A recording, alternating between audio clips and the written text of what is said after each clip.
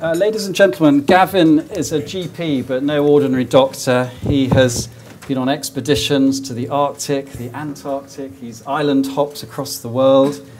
He's extraordinarily well read, and he's written a series of fascinating award winning books um, in which he thinks deeply about the human condition through journeys through our body as well as journeys through um, the planet. Um, such an exciting array of titles to discuss this morning. Um, but Gavin, welcome to the EA Festival. Thank you, John. Thank you uh, to all of you here in East Anglia Festival inviting me down. It's the first time I've ever been in a marquee tent with a bar at the back. book, book festivals with associated bar, I think it should catch on. So, thank you. Would you like a gin and tonic before we start? after, after. Um, it's unusual for a GP to be such a prolific writer. Can you tell us what drove you to start writing and, and, and hmm. what do you hope to achieve? Who are you writing for? Yeah, well, when I was a little boy, growing up in, I grew up in Fife in Scotland, and uh, originally I wanted to be a geographer, just because I loved maps so much, and I wanted to travel, see the world, create maps that would help me make sense of the world. And then um, sometime when I was at high school, really, I fell in love with biology. Somebody gave me an atlas of anatomy, and I fell in love with that other kind of atlas. So I decided to go to medical school instead of uh, becoming a geographer. And uh, I spent a long time after medical school traveling, so combining both loves. And the reason I began to write was essentially because I've always been such a reader. I love reading books. I've been just since very early childhood. I was a great um, journeyer in fiction and in non-fiction and in these wonderful big old atlases. And it was natural for me to want to write the book that I would most want to pick up in the bookshop. And so, um, you know, medical school and junior doctor training doesn't leave much time for that kind of thing. But uh, when I finally got my first job as an expedition doctor, I went south to uh, Antarctica for 14 months as the only doctor on a very small research station. And it was this time suddenly opened up to be able to begin to write. So that's I wrote my first book in Antarctica. It was actually about the Arctic. It was about a previous trip I'd done in the Arctic, but I wrote it in the Antarctic. And I loved that process so much that I came back, I got a publisher, it did reasonably well. I thought, oh, I'll write another one. I wrote one about the Antarctic. And then I wrote one about medicine, and then it just kept going from there. So, Gavin, you have an in incredible talent of weaving science and literature together, as mm. hopefully we'll discover. So mm. I thought we'd dive into Adventures in Human Being, mm. available for sale over there afterwards. uh, Book of the Year for the Sunday Times, The Observer, and The Economist. Uh, has some tantalizing chapter titles, including Inner Ear, Voodoo and Vertigo, and Large Bowel and Rectum, a magnificent work of art. um, Gavin, your rectum might be a magnificent work of art. Not sure about mine. it's all in how you depict it. Right. Um, it's all in the delivery. uh, I don't really want to think about that. yeah. Um, you start with the brain and a gripping account of uh-huh. um, brain surgery on a woman you call Claire, who suffered terrible epileptic seizures mm. and was so desperate that she decided um, to go under the saw rather than the knife and mm-hmm. have her head um, carved open. And um, it's so dramatic. I wondered if you could just read a little bit mm. from sure. your book. Gavin is a sort of, uh, a, were you a student at this point? No, no, I was a, a senior house officer, as oh. they used to call you, in uh, uh, neurosurgery. So you were qualified, but you weren't yeah. doing the neurosurgery bit. I was, I was sort of holding the, holding the suction Right. And then occasionally they would, the, the professor would so, dissect around the brain tumour and then he would take away all the capillaries, bleeders, and then he would separate all the scar tissue and then he would say, do you want to take out the tumour? So he just, but then by then it was just lifting it out. So just to set the scene, uh-huh. she, Claire has gone under anaesthetic. Yep. Uh, the neurosurgeon, who is a brilliant man known to operate 16 hours on the trot without sitting down, yeah. has got his saw out and has her, is sawing a hole in her head. Is that right? Yeah, well, this is um, this is a moment. This for this particular kind of procedure, if you're got to remove a part of somebody's brain, but it's very close to the area of the brain which produces speech, that's a very dangerous procedure. Um, in the sense that if you just slightly damage the bit of brain that is involved in producing speech, that They call that eloquent brain. If you damage eloquent brain, you can't restore it. Whereas a lot of the rest of the brain can adapt and recover from injury, as we all know from people we know who've had strokes and recovered very well. Um, so yeah, he's about to, he's trying to delineate which part of the brain is eloquent so he doesn't damage it. And for that to happen, the patient has to be awake during surgery. So yeah, they've taken off the top of the skull, uh, put a lot of long-acting anaesthetic around the skull rim, the raw kind of skull rim, and then woken the patient up, and then the patient is asked to speak while, while they, they progressively knock out different bits of brain with electricity to see which bits are producing the speech. That's why we're doing this after lunch. okay. So John read, read, this book and said, You've got to read this bit about chopping out bits of brain. So here we are. Suck, the professor said. He changed the position of the tube in my hand so that it hovered over his saw blade, then began to cut through more bone. The neurophysiologists tell me her seizures originate just under here. He tapped the exposed skull with a pair of forceps. The noise was like a coin dropped on porcelain. That's where the seizures are coming from. So we'll cut out the source of the seizures? I asked. Yeah, but the source is very close to the area responsible for speech, and she won't thank us if we make her mute in the process. Once he'd sawn through the skull, the professor prized in little levers, similar to those used to take the tyre from a bike wheel, and lifted up a medallion of bone. He handed it to the nurse. Don't lose that, he said. the, the window was about five centimetres in diameter and revealed the dura mater, the protective layer that lies beneath the skull shiny and opalescent like the inside of a mussel shell. The professor removed that too, and I looked down on a disk of creamy pink matter, ribbed like sand at low tide, with blood vessels traced over its surface and filaments of purple and red. The brain itself was slowly pulsating, rising and falling with each beat of the patient's heart. And then he moved on to uh, ask the patient to, to speak. A speech therapist was brought in and would show cards, and the patient had to say what was on the cards while the professor um, mapped out bits of the brain. And every time he'd checked that the patient could speak, um, despite knocking out a piece of the brain, he would put a little sticker on it, like, that bit's okay, you can take that bit out. Until eventually he'd mapped it out and he could remove the piece that was causing the epilepsy without damaging the eloquent brain. You've got to read this bit too. Ah. okay. Once Claire was asleep again, the professor removed a chunk of her brain, the epileptogenic part, and dropped it into a bin. What was that chunk responsible for? I asked him. He shrugged. No idea, he said. We just know it's not eloquent. Will she notice any change? Probably not. The rest of her brain will adapt. I, I mean, I was just gobsmacked. I mean, this is one of the country's most eminent neurosurgeons who just dumped a bit of brain in the bin because he didn't understand what it did. He understood what it didn't do. Yeah, yeah. And it was a very small chunk. And of course, I mean, they know very much what they're doing. And it's a, a part of brain in the parietal lobe up here, which has not been particularly essential for anything that we can pinpoint, right. but is obviously involved in doing something to do with the way we conceptualize the world. But then other parts of the brain take over. And that's what's so amazing. You know, you can see in brains of people who've been, for example, rendered deaf, completely deaf, and they've got this huge area of cortex which is responsible for processing the acoustic world. And you, if you go and look at their brains years later, you'll find that part of brain that used to process sound has been taken over doing something completely different.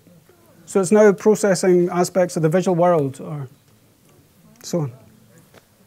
And using your map mapping metaphor, how much of the human brain remains uncharted? Is, is the brain the last terra incognita on the human map? Uh, no, not at all. Not at all. I mean, there's a huge amount about the brain we don't know, of course, and I'm not a neuroscientist anymore and moved uh, sideways from that. But um, you know, we don't we don't really know the first thing about most of the way the body works. Really, we don't understand the immune system. That's why. This we is not what you want to hear your GP yeah. say, by the way. yeah, well, we still haven't got to the bottom of most autoimmune conditions. You know, from multiple sclerosis to rheumatoid arthritis. We still don't really understand most digestive conditions. We don't really understand the complexity of it. There's more nerves in your gut than there are in your brain, for example. So yeah, we've got a long way to go everywhere, really. But the mm. brain is a big part of it. Nice. Gosh. You, you dissect a human brain and discover a small lump like a grey pea, which a fellow student tells you is the pineal body, the seat of the soul. Uh. What, what does the pineal body actually do for us? Does it help us pray, or what does it do? Well, the, pine, the pineal uh, body or the pineal gland is a tiny little gland between your two hemispheres. And Descartes, famously in the 1600s, thought it was the seat of the soul because it was the only part of the brain he could find that was um, not paired. You know, it was just one thing right in the middle. And he thought, oh, that must be where human souls live. But actually, it is, if you look at it under a microscope, it's got light sensitive tissue in it. And if you look at reptile brains or fish brains, the pineal gland is so close to the surface that it responds to ambient light. And so it's the pineal gland that tells us whether it's summer or winter. Um, and it still does that. You know, everybody nowadays takes melatonin for their um, jet lag, and melatonin is produced by the, the, uh, the pineal gland.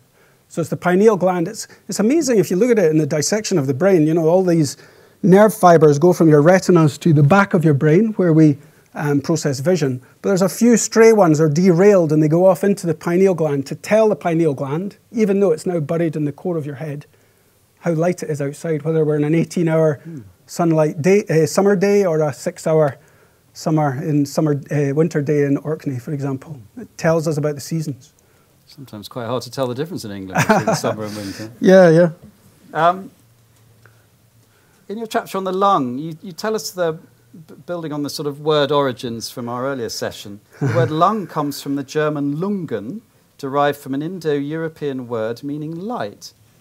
And Renaissance thinkers believed our soul uh, is attached most firmly to our body at the lips. Mm. Why do you think they attach such importance to the lips? And why should that be the seat of the soul for Renaissance thinkers? Um, well, uh, if you think, I mean, butchers still call the lungs the lights, don't they? they because they're the lightest mm. part of the body. They're just like foam, they're like sponge. Mm. And um, the word we use for, like the, the Greek word, um, uh, they use the word pneuma, which mm. is to do with spirit. Mm. And um, there's different kind of, it's like almost like the Indian uh, association of um, prana, the breath, mm. is also related to soul. Or in China, you would say qi, which is related also to soul and to breath.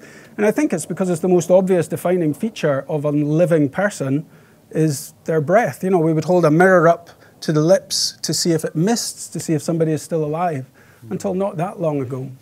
So I think that's where this idea of, of anima, soul, animation, movement comes from. Um, the, the, ultimately, it's our breath that keeps us alive, and it's when our breath starts to, uh, to fail, then that's when we need to worry about our soul detaching. And, and do you think there is anything that outlives our physical body? Uh, do I believe in the soul? That's a big question for a Saturday afternoon. oh well, you know, if I had the answer to that, John, I would. Yeah. You wouldn't be here. Yeah. Um, personally, no, I believe um, I believe that we have hugely complex and important, essential afterlives, but it's all to do with the consequences of our actions. Mm. And every action that we have, every decision we make, sets off colossal, unimaginably complex ripple effects everywhere around the globe. That, so we all have a thousand million afterlives because every decision we ever make goes on rippling long after we're gone. Mm. Um, but yeah, I can't see. I'm a materialist from the other point of view. Mm. You know, uh, every seven, if you don't count the enamel of our teeth, every seven to ten years, all the atoms of our body are replaced anyway. So there's nothing left of us 10 years' time from what we were before, apart from the enamel of your teeth, which was laid down in childhood and doesn't ever move. Seems to be getting replaced with more and more faulty parts in my case. Oh, really?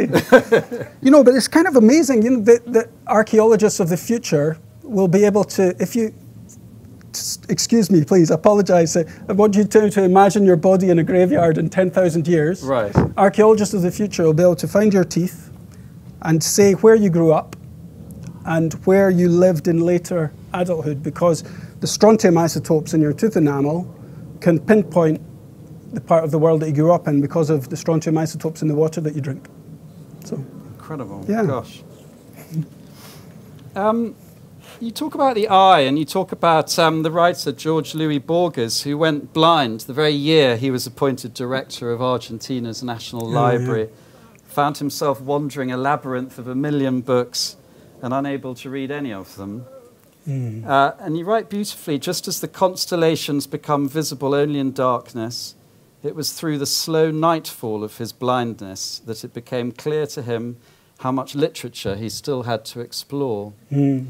And he, he, got his students to read the Anglo Saxon and Norse sagas, epic sagas, aloud to him mm-hmm. in the library, which is a wonderful image. And I wondered what you could tell us what's happening physiologically when you lose one faculty and the remaining faculties somehow compensate or become more acute? Yeah, well, we, we touched on that a minute ago, didn't we, about plasticity and brain plasticity is a phenomenon which people are still figuring out every day. But, but there's no doubt that if you lose one faculty, another one improves. You know, people just just off the top of my head, you know, you can think of the example of um, if somebody becomes blind in later life, it's then possible to develop such heightened hearing that it's now well recognized that, that many blind people can use a form of echolocation as they walk around. So by sort of making noises or clapping or even their footfall, they start learning how far away walls are because they start hearing the echoes. And that's a capacity you only develop because you've lost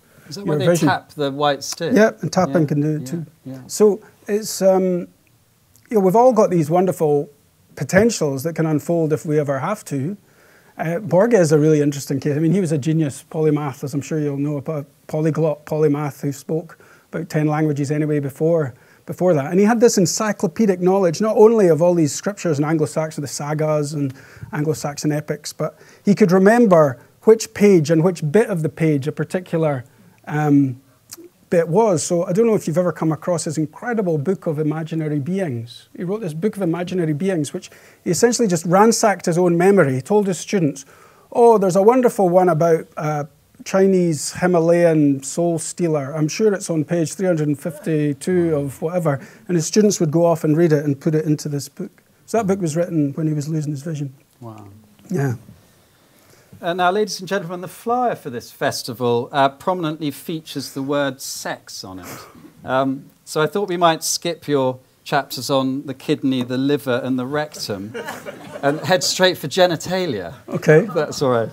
Um, I've unearthed some fascinating facts in this book, uh-huh. available for sale down there. Vibrators were invented to treat women suffering from hysteria, and some of these devices had fittings so they could be driven by a home sewing machine. I mean, that, that's like the ultimate multitasking, isn't it? Does it still does it work? And well, do you prescribe this? No, no. I mean, this is um, I'm sure as well. Many of you know there's a very kind of misogynistic ancient Greek view of, of the idea of hysteria, which was which is ridiculous that it was assumed that it was a thing that happened only to women. I mean, Freud wrote his famous studies on hysteria. He had Freud had male hysteric patients, but he only wrote up the female ones, and so mm. Freud perpetuated this idea that hysteria um, was a thing to do with um, femininity, which is a load of rubbish.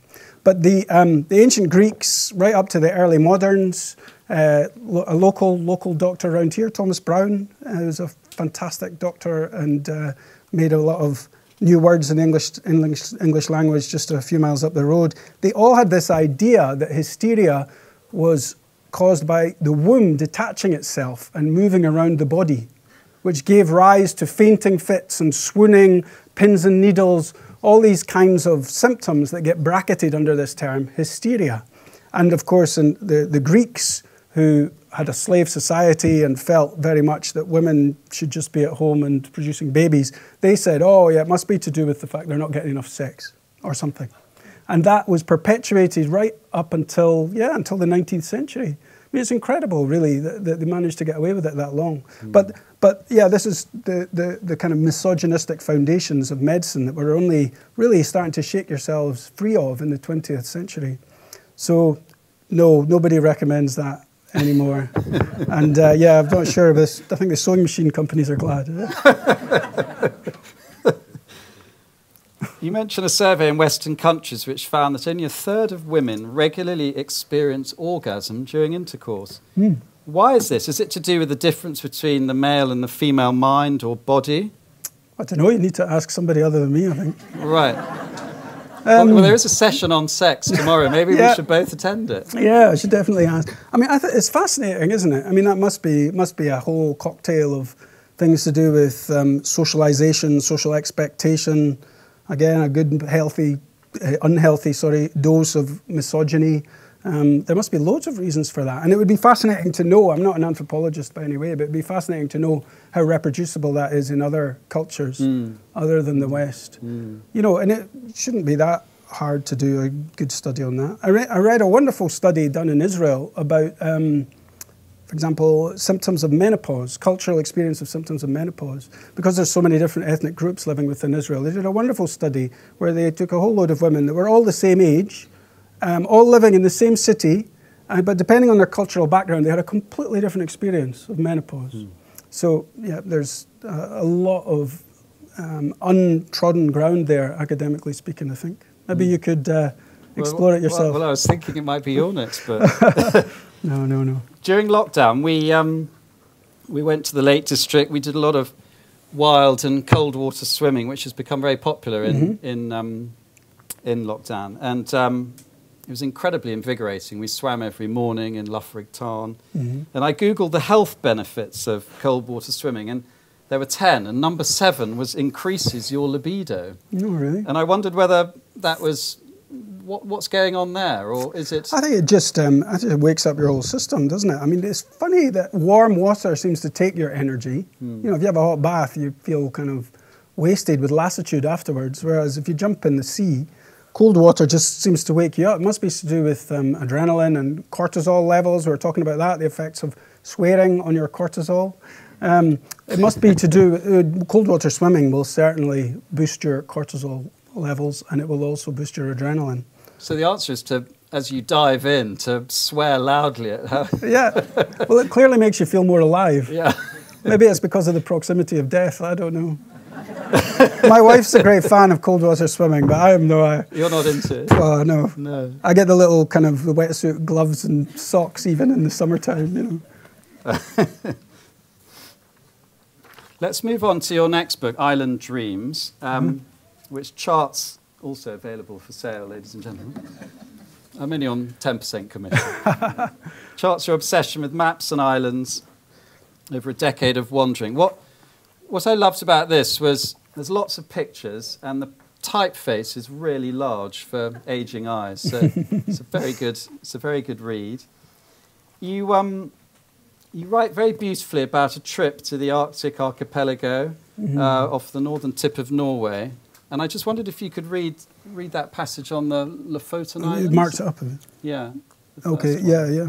Okay, so yeah, this is a description of the Lofoten Islands. You know, I said at the beginning that I wanted to be a geographer originally, and it's a real treat for me to write books about travel and to spend time going through old maps. I like the way maps show us how land used to be imagined.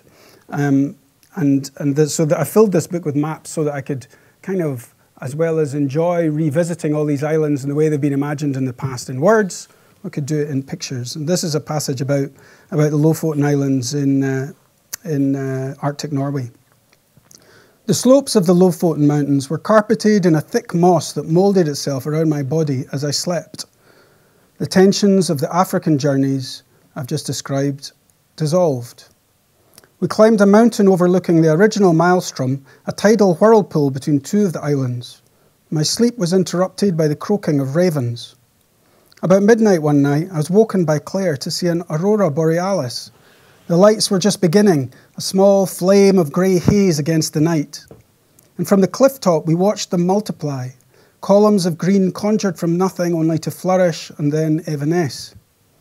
A wash of swirling luminescence rose and fell, like marbled end papers spread over the book of the sea. Meteorites flashed through the ionosphere, and at one moment, Standing high on the island ridge, I was surrounded on all sides by vertical pillars of grey green light stretching up to infinity. Sometimes the flames came quickly, but more often they moved imperceptibly, so that as I turned my attention away from one part of the horizon and back, I hadn't noticed a movement, but the scene had changed. And I sat up watching the lights until the filament of crimson along the northern horizon fattened to a dull dawn. More light rose from the horizon in chromatography columns, dissolving the aurora into the gathering day. Thanks. You write that your isolation on Lofoten was beneficial and even therapeutic. Mm. And this touches on a recurrent theme in your book about the tension between connection and isolation. Mm. It made me think about what E.M. Forster wrote in the frontispiece of Howards End, um, Only Connect. Mm. Those were the f- words that were the philosophy of the Schlegel sisters, mm-hmm. trying to connect different, bridge different social classes. And the frontispiece of your book could almost be Only Isolate. Mm-hmm. And I wondered whether you could unpack this idea a bit more and tell us how your travels might have resolved this tension. Um, well, I, I, think that, like many people, I, I, share a love of isolated places. You know, I came here from the sleeper from Edinburgh after flying down from Orkney. I was doing a locum until yesterday as a GP on one of the littler islands of Orkney. Um, and I love going to that kind of environment because I feel so separate from all the cares of my life in the city. I feel I get perspective. I feel like it gives makes me see in much greater clarity the contrast of what's important in my life and what isn't. But then also I love going back to the city and all the plurality and the possibility and the fertility of the connections that you get in the city. And so I think that there's a balance to be struck there between isolation and connection. And there's a paradox too. You know, it's very easy to get isolated in the city, but in a small community, you can feel very deeply connected. Mm. Um, Winnicott, Donald Winnicott, the great pediatrician, psychoanalyst that I love very much his writings, um, uh, he felt very much that adolescents need to learn a bit of isolation in order to, to grow, for their egos to develop as independent people. And that if you didn't allow teenagers the possibility of that isolation, then they, they couldn't develop properly. But he, he, he, he made a very strong distinction between isolation and insulation.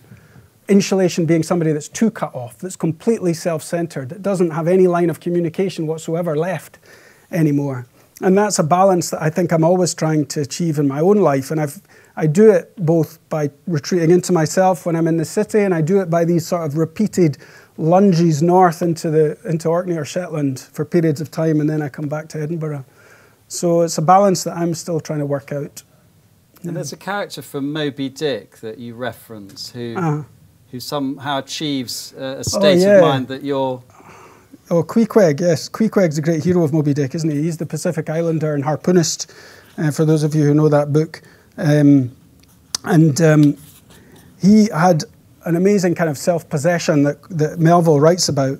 He says, um, Queequeg never consorted at all or but very little with the other seamen in the inn. He seemed entirely at his ease, preserving the utmost serenity content with his own companionship, always equal to himself. And it was it's a beautiful description of somebody, and we've all met people like that, haven't we, that are completely self possessed. They're not cut off from people around them, but neither do they need the people around them. And it's a kind of equanimity, it's a kind of ballast, um, safety, and security that I'm always trying to search out, I think. Hmm. That's wonderful. Um, you also talk about the Hindu tradition of the four phases of life of um, being a, a student, a, a householder, mm-hmm. a, um, an, an, ascetic. Um, mm-hmm. And it, it, made me wonder whether um, you could also, I mean, are you about to head off and renunciate everything in search of isolation? And how, how are you going to explain that to your wife? Yeah, my kids. Well, she would head off to the drop of a hat as well. Right. um, yeah, we, have forged a kind of life where we both we're both great explorers before we had kids, and we're both having to find a kind of tension, uh, a resolution of that tension now. But yeah, I found a kind of resolution in that, as did she, which is I love this idea that there are just phases to life. And I had a phase in my life where I travelled constantly, and I was working as a junior doctor. And in those days, uh, senior house officer jobs came up six months at a time. So it was quite easy to, to work very, very hard, 100 hours a week for six months, save lots of money, and then spend six months travelling and do that cycle. And I did that for quite a few years, travelling all over the world.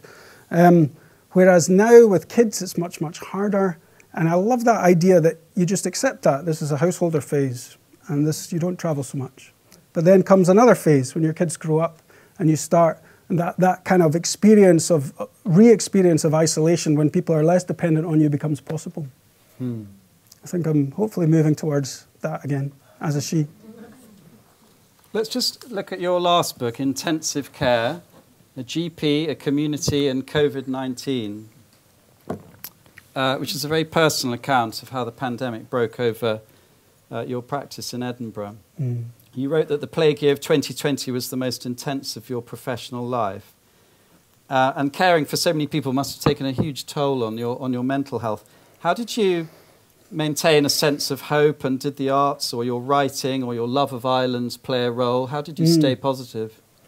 Yeah, it was exhausting, really, wasn't it? I mean, we all had to relearn so many things at the beginning of this pandemic. We had to reinvent the wheel um, from the point of view of, uh, of, well, no, not reinvent the wheel. We had to find completely new ways, sorry, of, of establishing connections and, and doing my job. I mean, when I was trained as a doctor, there was always the rule was see the patient. If you've got any doubt, see the patient. Put your hand on their stomach. Put your stethoscope on their chest.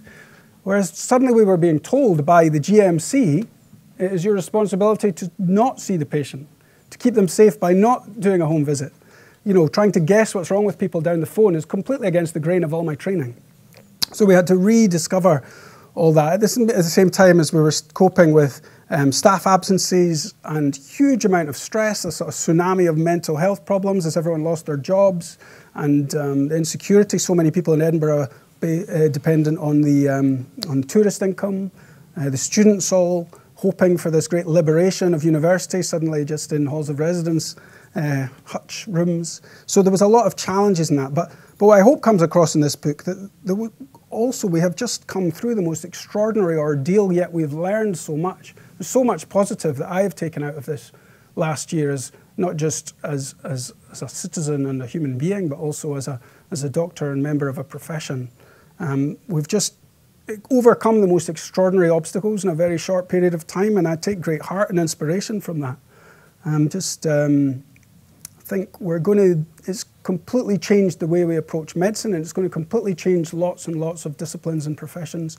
We'll always be able to look back on, when people say in the future, naysayers say, oh, we can't do that, or you couldn't do that, we just say, well, didn't we do it in 2020 when we had to? Hmm. You know, red tape was cut. You know, uh, part of the thread of this book goes through the fact that in Edinburgh, all the homeless people were housed overnight. Overnight. So a, a, an agreement was brokered between the charities that look after homeless people, the Bethany Trust, the Cyrenians, and so on. The hotels that were standing empty, Scottish Government and the City Council, they all just came together and went, right, okay, everybody gets a hotel room. And, um, and so we solved it after years of kind of hand wringing. So that kind of thing was most extraordinarily inspirational, really. There's an extraordinary statistic in your book that the life expectancy of a, a rough sleeper is something like 46. Yeah, in Edinburgh, yeah. I mean, that's really shocking. That's, that's what, 40, 30, 40 years less than we might hope to achieve, yeah, I guess. It's, uh, life expectancy in Chad is 54 and in Gaza it's 52. But in Edinburgh, if you're a rough sleeper, it's uh, 46. And the women are even younger, 42, 43 if you're a woman. So, yeah, extraordinary. I was um, I was thinking about the sort of connection between physical and mental health. I was reading a book by mm. Daniel Kahneman, the Nobel Prize winning economist, and actually on the cover there's a picture of him. I don't know if I can demonstrate this with a pen, but um, oh, I don't think I have my pen, but. Oh, it's there. Thank you very much. There's a picture of him actually with a pencil, and he's going like this. And he says if you put a pencil in your mouth and go like that, you will automatically start feeling more cheerful. Wow. And I, I, thought, wow, I can't, surely happiness can't be that simple. you have to go around all on? the time with a pencil in your mouth. What's going on there? I have no idea. You need to ask Daniel Kahneman. but uh, Diane, uh, so Joanne needs to invite him. oh yeah, absolutely. No, there must be something to do with uh, positive feedback and uh, engaging with the world and dopamine on I have no idea but, I'm but sure. you said when you when you were uh, dissecting faces you found some that had highly developed smiling muscles and you could oh, almost yeah. tell someone's character by the size of the muscles behind yeah. the skin yeah, this is a part of Adventures in Human Being. I used to, um, I paid my way through medical school by being an anatomy dissector during the summer holidays. So I've dissected a lot of human faces. On the, on the, you, there was an article in the FT, and you said you're an anatomy, anatomy demonstrator, which sounded more like a sort of That's what I just nail stripper. Ah, no, no. like a male model. Yeah. Um, no, a demonstrator. So my job was to um, prosect the cadavers so that to demonstrate various aspects of anatomy for students, so that ah. they could see on the body, for example, the branches of the median nerve in the in the forearm, or they could see the branches of the carotid artery in the face. So yeah, I've dissected a lot of faces, and uh, there really are some people who have got great big chunky smiling muscles, um, and there are people who've got big chunky frowning muscles. Wow. And there's a lot of good evidence to show that ultimately, the more your facial expression shows levity, mirth, happiness, the happier you will be. So keep so smiling. So there is something in it, oh, there? yeah, definitely. Yeah, there's lovely. I don't know if you've ever seen Leonardo da Vinci's um, uh, anatomical drawings are magnificent. You know, he was like 300 years ahead of his time. And he called the muscles after their emotion. So he called that, you know, the one that does that, he called it the muscle of fear. Um, or he called that one uh, that wrinkles up your nose, he called it the muscle of anger. And, uh, and he was convinced, yes, that, that they were in constant communication with the seat of the soul. And the more you portrayed a particular expression, the, the more you felt mm. that particular emotion. Mm. Yeah, it's a lovely idea. I'm sure it's true. So uh, we've got a bit of time for Q&A. Um, as long as your question isn't something like, have you got a cure for my bunions, doctor? we're, we're open There's to, always one. to anything. we have mics left and right. The lady in green, thank you. I'm just really interested in this um, looking after the homeless in Edinburgh. What, where are they all now? Uh, well, there's still a. We've gone through three iterations of the homeless hostel. Um, it was a hotel at the east end of the city, did the most of it. But now there's a hotel at the west end of the city. I don't know how well you know Edinburgh, but it's near Haymarket. That is um, the current homeless shelter. So there's an aspiration. I don't know how long it'll last, but there's definitely an aspiration that there's no going back to the street. And uh, certainly the City Council has massively scaled up its uh, temporary emergency housing provision so that people can come to this hotel and you know, the, the health, public health benefits are extraordinary because they get vaccinations, they get off heroin, they get onto methadone, they get all these wonderful things happen once they've got a bed to sleep in. And then they get moved on into city council accommodation. So that's the hope so far. Oh, front right here, please. Thanks. Um, would you encourage your children to train as doctors now? Um, yeah, absolutely. I mean, it's a terrible, uh, grim process going through medical school, especially when you've got to do it on Zoom. You know, I mm. teach the first years community medicine. It's just dire trying to kind of inspire them and give them enthusiasm about your subject on a team screen. But um, yeah, medicine is just the most amazing profession. You know, if you're curious about people and you're curious about the world, you can't ask for a better job because, you know, you get to constantly exercise your, your uh, intellect and your curiosity. You get to help people in a really direct, practical way. Get this sort of um, constant stream of people coming and sitting next to you telling you about their lives. And, um, and saying, oh, I've got this really, you know, this problem. They tell you all about their life and they say, can you do anything about it? And sometimes you say, no, sorry, I can't do anything about that. But sometimes you can, and a lot of the time you can. And it's very satisfying, particularly my job being a GP, because you know, I used to work in hospitals, as I said. I started out as a trainee surgeon, and then I did emergency medicine and expedition medicine. But general practice is fantastic because, you know, everything from a bunion or gout in your toe, which is a very satisfying thing to treat because it gets better, right through to people having midlife crisis or, um, you know, florid, psychotic, schizophrenic episodes. The whole of human life is there uh, in the clinic, morning to evening. So, yeah, do it. That's what I would say. Oh, a gentleman at the back.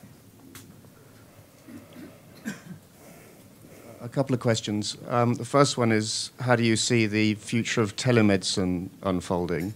And do doctors hate it? Um, or do they think there are great advantages in speaking to the patient but not seeing the patient? Oh. Um, and the second question is just about the NHS and whether you feel the, the NHS in Scotland is uh, operates better than in England mm, and is better funded? Um, well, both quite political questions, I suppose. My first, I mean, telemedicine, it just depends on the individual. You know, some consultants I heard of loved it when suddenly they didn't have to see patients anymore and they could just sit in their office and dial them in on Zoom. Um, my experience, nearly all of my GP colleagues hated it, really hated it, and I still hate it. I'm back now after 18 months of this nonsense. I'm, I'm back to about 50 50. So half my patients, I get them into the clinic. The other half, I'm doing it by phone or by Zoom, or, well, the equivalent of Zoom, NHS Near Me, it's called. Um, and I think you miss things. Uh, you miss things a lot. You know, the big pleasure of being a GP is that so often patients will test you out with their first couple of questions. You know, they're not really interested with their first couple of questions in your answer. They're just trying you out to see if you're the kind of person they can risk with the big thing they want to ask you. And all that's gone. All that subtlety is gone. And you would think it would be faster doing it all on Zoom or on the phone, but the clinics take much longer because you can just eyeball somebody. You can see whether you need to be worried about them or not. But on the phone, it's almost impossible to figure out whether you need to be worried about them. So I'm not a fan, and there are very few fans. I think there's a lot of accountants would like us to do it um, because it will be cheaper and that's good. You know, it's public money. We have to spend it the best way we can. But I just, I don't think it's proper medicine. Um, and with regard, it's really hard for me to say whether NHS in Scotland is better run because I've, I've not worked in the NHS in England since 2002. So it's a long time ago. Um, eh, for people who don't know the difference, uh, in Scotland we don't really have nearly as much of uh, clinical commissioning groups. We don't have an internal market. We don't have um, you know, you don't get Virgin or Boots coming in buying up GP practices. We don't have any of that in Scotland. It's still all um, public led. Um, and it's got advantages and disadvantages. But personally, I, I prefer it, I think. Friends of mine who qualified as GPs and went to work for big uh, consortia uh, GP practices in England don't enjoy it as much. They don't have the kind of autonomy. They feel much like they're becoming tiny little cogs without much professional independence. Um, so I think from that point of view, it's not been good for a lot of GPs. But then, uh, you know, that's a political question. What do you want? Would you want more? Do you want more accountability and better balancing of the books? Then you probably would go for that. Um, but I don't think it gives you good medicine. Ultimately, you can't really have a market in healthcare, and we see that in America. You know, America's got the most. They spend the biggest amount per head on health in the in the entire world, and they have the worst outcomes. They have terrible infant mortality. They have horrendous, horrendous outcomes. But they spend 50% more than us per head on health. And that's because I think ultimately when you're sick, you need somebody you can trust. And if you're all vying in a competitive market, it's very, very difficult. So I've got patients who are very wealthy who have private health care, and uh, they'll come back from their private consulting, consulting episode telling them what the consultant wanted them to do, but they'll ask my advice. Which one? Because they know I don't get paid anymore. You know, I, I, my pay doesn't change depending on what I advise. Whereas in a private system, there's always that little element of doubt. You, I mean, NHS is full of wonderfully professional, brilliant doctors who do private work, but there's always that little seed of doubt that is he recommending that because it's more expensive, better paid for him? Whereas we don't have that really in Scotland, which is good Can I ask a follow-up question, just about about big data and um, how big data is changing medicine. And I think most of us in this room are going to have our, our data on sold by the NHS, and there's obviously a big campaign about opting out of that at the moment. Mm. I mean, what is big data? What are the advantages of big data? And to your point about it being very commercial, yeah, um, who gain, who benefits from it? Uh, it's wonderful. Big. I mean, it's just a resource like any other. You know, if you can crunch the numbers of 50 million people's blood pressure, 50 million people's cholesterol, 50 million people's glucose levels, you can crunch all those numbers and, and come up with some wonderful algorithms about their health, improving their health. But it's, a, it's, it's, a, it's back to the tragedy of the commons. Who owns that? So, should you allow a private firm who's smarter and quicker to use that data for personal profit, or should you have uh, an umbrella organiza- an organization within the umbrella of the NHS who is managing and getting the benefit of that profit. And there's advantages and disadvantages of both. But um, so big data is a wonderful thing, and it's going to transform medicine over the next 20 to 30 years. But I would really hate to see the fruits of that just get hived off into uh, private hands because it's a common resource. We're out of time, I'm afraid. But um, mm. Gavin, before we finish, I wonder if I could just ask you to read a lovely poem from the back of your, your latest book, which um, I think helped you through mm. the, the last difficult 12 months. Yeah. Um, Thank you. So this is a lovely poem by uh, a Scottish novelist called James Robertson. Some of you may know some of his books. James Robertson is a poet and a um, short story writer and a novelist. And, um, and I'm a fellow of the Royal College of Physicians in Edinburgh. And uh, he was commissioned to write a poem for one of the presidents, outgoing president, last year. What a year to finish off your tenure as the president of the College of Physicians in the middle of the pandemic. But anyway, James wrote this beautiful poem for the outgoing president. And I'm just going to read you a few short lines from the end of it. Your patient is your mirror, therefore look with sympathy. Work with the faults and flaws, see the stories and the scars. Replace what worn out parts can be replaced, and when remedy cannot be found, in the last resort, be kind. The world needs all the kindness it can get. Our time is short. The snake casts off its skin, the cockerel calls up the morning light. We glimpse the centaur leaping in the wood. We work, we live, we love, we say good night. But not just yet. Although I will now disappear, life is what you are for and why you are here. Gavin, thank you very much. Thanks. Thanks,